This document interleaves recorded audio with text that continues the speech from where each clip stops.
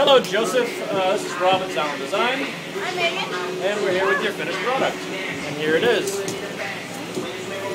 Looks nice. This is measuring 15 by 15 by 42. Exactly what your paper says. Yeah. Uh, Rob here finished. It looks wonderful.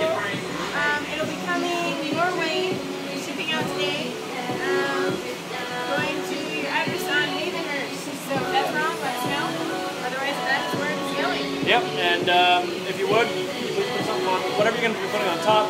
Put it on top, and then send us a picture or video. That'd be great. We can see what goes on our pedestals.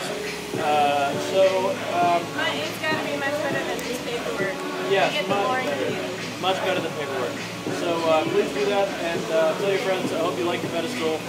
Um, and uh, anyway, have a good day. Thanks much. Bye. Bye.